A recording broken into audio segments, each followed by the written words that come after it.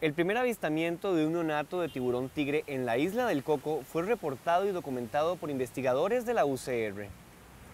La criatura fue detectada a través de las estaciones submarinas de video que utilizan los científicos para el monitoreo de los tiburones en esta zona.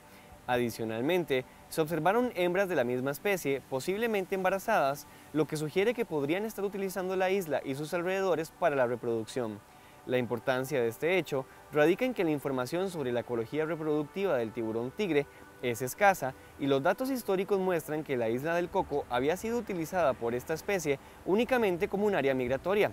Sin embargo, los investigadores aseguran que aún no está claro si la presencia de un solo recién nacido es un evento aislado o evidencia que la especie está usando la isla para reproducirse nos motiva, ¿verdad? Nos llena de emoción de que la conservación en torno al Parque Nacional Isla del Coco está funcionando, está protegiendo a los tiburones, los tiburones se están desarrollando, se están reproduciendo y todo esto contribuye al balance y a la salud de los ecosistemas de los océanos.